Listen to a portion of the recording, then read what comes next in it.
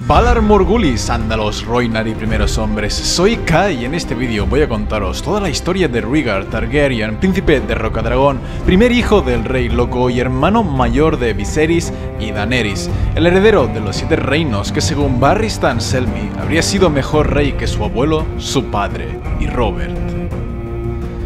Rhaegar era hijo del rey Aerys II y su hermana Raela, quienes se habían casado entre sí porque a su padre, Yehaeris II, la bruja de los bosques de Jenny de Piedras Viejas, le había dicho que el príncipe prometido nacería de su descendencia. Rhaegar nació en el año 259 después de la conquista, concretamente el mismo día de la desgracia de refugio estival, donde su bisabuelo, el rey Egon V y sus vasallos más allegados murieron y el castillo entero quedó en ruinas. Como príncipe y heredero del reino, Rhaegar creció en la corte de desembarco del rey, excepto en el año 267, cuando el padre de Tywin Lannister murió y toda la corte real se movilizó hacia las tierras del oeste, y Rhaegar, que tenía 8 años, fue con ellos y vivió allí durante casi un año. Cuando era niño, a Rhaegar no le interesaban los juegos de los demás muchachos, sino que era muy aficionado a los libros. Comenzó a leer tan temprano que la gente decía que su madre debió de devorar algunos libros y una vela cuando tenía a su hijo en las entrañas. Los maestres estaban sobrecogidos por su talento, pero los caballeros de su padre bromeaban con amargura, diciendo que Baylor el Santo había renacido en él. Hasta que un día, el príncipe Rhaegar encontró en sus pergaminos algo que lo hizo cambiar. Nadie sabe qué pudo ser, solo que el niño apareció repentinamente una mañana en el patio cuando los caballeros vestían sus armaduras de acero. Se dirigió al maestro de armas y le dijo, necesitaré una espada y armadura. Al parecer, tengo que ser un guerrero. No se explica qué fue lo que Rhaegar encontró entre sus libros, pero en mi opinión lo más probable es que encontrara la profecía, y al igual que su tío bisabuelo, el maestre Aemon, Rhaegar llegó a pensar que él era el príncipe prometido. La profecía decía que el príncipe nacería de la sal y el humo bajo una estrella sangrante. Aemon y Rhaegar creían que el humo era el fuego que había consumido refugio estival el día de su nacimiento, y la sal era por las lágrimas derramadas por los muertos. En mi opinión, eso fue lo que Rhaegar descubrió y dejó sus libros y empezó a entrenarse en el arte de la espada, porque el príncipe de la profecía debía ser un guerrero. El tiempo pasó y Rhaegar demostró ser lo opuesto a su padre, el rey loco. Él era un hombre hábil, decidido, deliberado, obediente y sincero. Era alto, con el pelo plateado, los ojos de color índigo oscuro y la voz con un tono férreo. Rhaegar se convirtió en un gran caballero de destreza incuestionable, pero rara vez tomaba parte en las justas. Si tenía que luchar, lo hacía, porque era una tarea que el mundo le imponía, y lo hacía bien porque lo hacía bien todo. Sin embargo, no disfrutaba con ello, y se solía decir que le gustaba el arpa mucho más que la lanza. De hecho, tenía un arpa de cuerdas de plata que tocaba con frecuencia. No puede decirse que fuera un hombre feliz, sino alguien de naturaleza melancólica. Una nube de melancolía le perseguía, como una sensación de predestinación funesta. Nació con dolor y todos los días de su vida pendió una sombra sobre él, la sombra de refugio estival. Y pese a ello, era el lugar que más amaba. Iba allí de cuando en cuando con su arpa como toda compañía, y ni siquiera lo acompañaban los caballeros de la Guardia Real. Le gustaba dormir en las ruinas de la sala principal, bajo la luna y las estrellas, y al regresar siempre traía una canción consigo. Cuando uno le oía tocar el arpa de cuerdas de plata y cantar sobre ocasos, lágrimas y la muerte de reyes, tenía la sensación de que cantaba sobre sí mismo y sobre sus seres queridos. Rhaegar también participó en el torneo que se celebró en Bastión de Tormentas. Derrotó a Stefan Baratheon, a Jason Malister, a Oberyn Martell, a Simon Toyn y rompió 12 lanzas hasta que venció a Arthur Dane, aunque perdió en la última justa, derrotado por Barristan Selmy. En el año 276 nació su hermano pequeño, llamado Viserys, cuando Rhaegar tenía 17 años de edad. Ese mismo año, Rhaegar fue nombrado caballero y Tywin celebró un torneo en Lannisport en honor al nacimiento de Viserys, un torneo al que Rhaegar acudió. Consiguió desmontar a Tiget y a Herion Lannister e incluso a Barristan Selmy, pero cayó de nuevo en la final, esta vez ante Arthur Dane, la espada del amanecer, el célebre miembro de la Guardia Real. Fue en aquel torneo cuando Tywin le propuso al rey Aerys que su hijo Jaime fuera el escudero de Rhaegar y que su hija Cersei fuera su esposa, aunque Aerys se negó a ambas cosas. Al año siguiente ocurrió la resistencia del Valle Oscuro en la que Aerys fue secuestrado y Rhaegar tomó parte en el ejército que sediaba la ciudad, y cuando el cautiverio terminó, la locura de Aerys se incrementó y se volvió receloso de todos cuantos le rodeaban, incluido Rhaegar, su propio hijo. Envió a Stefan Baratheon a Volantis para que buscara una esposa del linaje Valirio para Rhaegar, aunque por suerte o por desgracia, Stefan murió en el intento. Con el tiempo, Aerys y Rhaegar se distanciaron cada vez más. En el año 279, Rhaegar se prometió con Elia Martell, la hermana de Doran Martell, que era el señor de Dorn.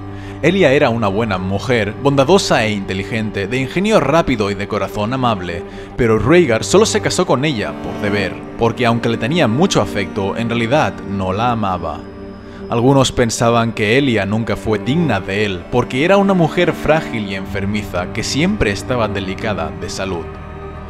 Aún así, ambos se casaron en el 280 en una espléndida ceremonia celebrada en el Gran Septo de Baylor en desembarco del rey, aunque Aerys no asistió a la boda ni tampoco quiso que fuera su hijo Viserys. Al terminar, Rhaegar y Elia se instalaron en Rocadragón, no en la Fortaleza Roja, lo cual hizo que corrieran toda clase de rumores por los Siete Reinos. Unos decían que Rhaegar planeaba derrocar a su padre y apoderarse del trono de hierro, mientras que otros opinaban que Aerys iba a desheredarle para nombrar heredero a Viserys. Ese mismo año nació Rhaenys, su primera hija, pero ni siquiera su nacimiento reconcilió al padre con el hijo, y cuando Rhaegar la llevó a la Fortaleza Roja para presentarla a sus padres, su madre abrazó al bebé con ternura, pero Aerys se negó a tocarla y dijo que olía a dorniense. Y, de hecho, Elia, que ya de por sí era de salud débil, se debilitó tanto con el parto que tuvo que permanecer en la cama durante medio año. Rhaegar tenía la costumbre de armar a sus escuderos en persona y obligaba a muchos otros caballeros a hacer lo mismo. Durante su vida tuvo un total de dos escuderos. El primero fue Miles Moton y el segundo Richard Lonmouth, y cuando se convirtieron en caballeros ambos permanecieron al lado del príncipe como sus compañeros más allegados. Otro de los grandes amigos de Rhaegar era el joven John Connington, aunque su mejor y más íntimo amigo no era ninguno de ellos, sino que era Arthur Dane, la espada del amanecer. Y aún así, se decía que ningún hombre llegó nunca a conocer a fondo al príncipe Rhaegar. Consciente del pésimo gobierno de su padre, parece ser que Rhaegar empezó a ingeniar un plan para buscar alguna solución. En el año 281 se celebró un nuevo torneo en la ciudad de Harrenhal, pero como el anfitrión no podía tener suficiente dinero para financiarlo, en los Siete Reinos se extendió la sospecha que detrás del torneo estaba Rhaegar, quien quería congregar a los grandes señores del reino para celebrar un gran consejo extraoficial para debatir posibles soluciones a la locura de su padre, el rey Aerys tal vez una regencia o una abdicación forzosa. Dadas todas estas sospechas que se habían extendido, Aerys estuvo a punto de suspender el torneo, pero finalmente lo permitió porque sabía que si no tendría la impopularidad de la plebe, y no solo eso, sino que también decidió asistir, y así fue que el rey salió de la Fortaleza Roja por primera vez desde la resistencia de Valle Oscuro. Aquel fue el tercer y último torneo donde Rhaegar participó, y al fin consiguió la victoria desmontando en la justa de los campeones a Barristan Selmin, quien era considerado el mejor lancero de los Siete Reinos. Entonces, como campeón que era, Rhaegar tenía derecho a proclamar a una de las mujeres asistentes como la reina del amor y la belleza, pero en vez de nombrar a su esposa, Elia, quien se encontraba presente, Rhaegar sorprendió a todo el mundo nombrando en su lugar a Lyanna Stark. Nadie entendía por qué Rhaegar había insultado a su esposa de aquel modo, pero la verdad es que Rhaegar se había enamorado de Lyanna. Sin embargo, aquello fue una cagada, porque Robert Baratheon, el prometido de Lyanna, encajó mal el insulto y desde aquel día albergó resentimiento hacia él. El torneo terminó sin más incidentes y todos volvieron a sus hogares. Poco después debió de nacer Egon, el segundo hijo de Rhaegar, cuyo parto debilitó tanto a Elia que estuvo a punto de matarla. Y poco después de su nacimiento, los maestres le comunicaron a Rhaegar que su esposa ya nunca más podría volver a concebir ningún hijo. Como he explicado antes, hasta aquel momento Rhaegar había seguido pensando que él era el príncipe de la profecía, pero cuando su hijo nació, Rhaegar cambió de idea y empezó a creer firmemente que el príncipe prometido no era él, sino que era Egon. Así lo creía, porque el día en que lo concibieron, un cometa pasó sobre el desembarco del rey y Rhaegar creía que era la señal de la estrella sangrante que decía la profecía. Pero es que en el universo de Canción de Hielo y Fuego aún hay otra profecía, además de la del príncipe prometido, y esta es la profecía de las tres cabezas del dragón. Según esta segunda profecía, habrá tres Targaryen muy importantes y Rhaegar creía que con Egon ya había dos de estos tres. Parece posible que el otro dragón al que Rhaegar se estuviera refiriendo además de Egon fuera su hija Rhaenys, y eso significaba que aún faltaba uno, aún le faltaba otro hijo o hija para que se cumpliera la teoría de los tres dragones.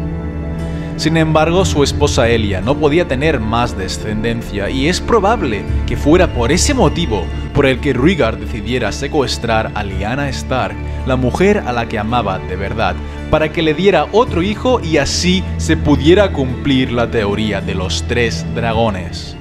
Aunque esto es solo una suposición mía, y en cualquier caso lo que ocurrió es que a principios del año 282, Rhaegar partió de Rocadragón con media docena de amigos y, dejando a su esposa e hijos atrás, raptó a Lyanna cerca de Harrenhal y se la llevó al sur, a las montañas de Dorn.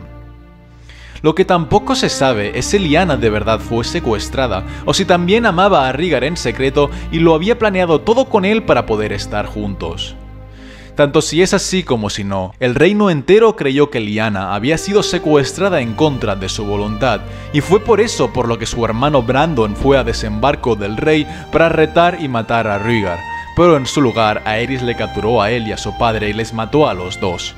Entonces el rey loco exigió las muertes de Eddard Stark y Robert Baratheon, y con ello empezó la famosa contienda que se conoce como la Rebelión de Robert. La verdad es que Rhaegar casi no intervino en la guerra, sino que se quedó en el sur en la Torre de la Alegría y haciendo con Lyanna día tras día, mientras en el norte sus aliados perdían una batalla tras otra. No fue hasta después de la batalla de las campanas, donde su amigo John Connington fue derrotado, que Rhaegar finalmente volvió a desembarco del rey, aunque dejó a Lyanna con tres guardias reales, entre ellos su gran amigo Arthur Dane. Y así fue que Rhaegar reunió a un nuevo ejército tenía la intención de derrotar a los rebeldes sin el tridente para luego volver, reunir al Consejo Real y llevar a cabo los grandes cambios que el reino necesitaba para con el gobierno de su padre, el Rey Loco. Sin embargo, aquellos cambios nunca sucedieron, porque aunque Rhaegar era un gran guerrero, había hecho arder la furia de Robert Baratheon, el verdadero prometido de Lyanna, y era tal las ganas y la sed de venganza que le tenía Robert, era tal su fuerza prodigiosa, que cuando ambos se encontraron en la batalla del tridente, Robert le hundió el pecho de un golpe con su tremenda maza.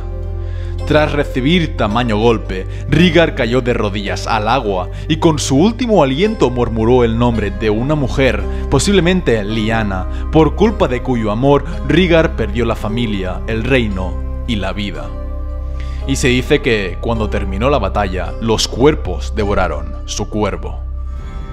Y así murió Rhaegar Targaryen, el príncipe de Rocadragón y heredero de los siete reinos. Más tarde, su esposa Elia fue violada y asesinada por Gregor Clegane. Su hija Rhaenys fue apuñalada brutalmente por Amory Lorch y se creía que su bebé, Egon, murió con la cabeza estampada en la pared, aunque mucho más tarde, en el último libro de la saga publicado hasta la fecha, se nos dice que no, que Egon fue salvado por Varys y que el niño al que mataron era solo un señuelo. Y además, en la sexta temporada de la serie, se confirmó una teoría de los fans, y es que John Nieve en realidad no es hijo de Eddard, sino que Lyanna se quedó embarazada de Rhaegar y John es su hijo. Esto en los libros no está confirmado, pero personalmente, por cómo se describe la muerte de Lyanna, me parece que lo más probable es que ocurra como en la serie. Por tanto, y si estas dos cosas fueran ciertas, actualmente en los libros dos de los hijos de Rhaegar aún están vivos. Aunque, como ya os digo, ninguna de las dos cosas aún es segura. Y con esto termina el vídeo sobre Rhaegar Targaryen, príncipe de Rocadragón, el hijo del rey loco y el hermano mayor de Viserys y Daenerys. Nuevamente ha sido bastante chungo encontrar y redactar toda la información sobre este personaje, así que dadle al like si os ha gustado el vídeo y suscribíos para más vídeos de Juego de Tronos. Un saludo a todos chicos.